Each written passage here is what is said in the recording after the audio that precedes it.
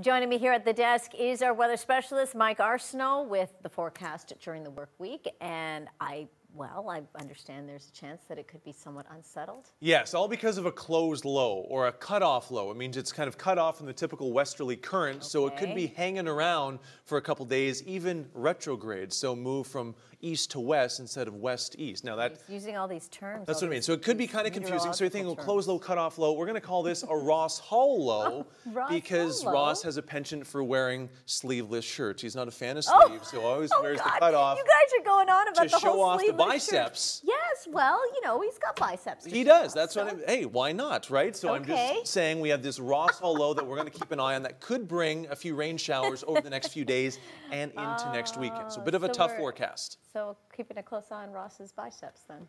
That's another way of putting it. How about your biceps, Mike? They're they're covered up. Oh. This is a, this is an open this is an open low. Anyway, let's get back oh, to the oh, weather. No, no, no, no, Starting with the wake up conditions for tomorrow.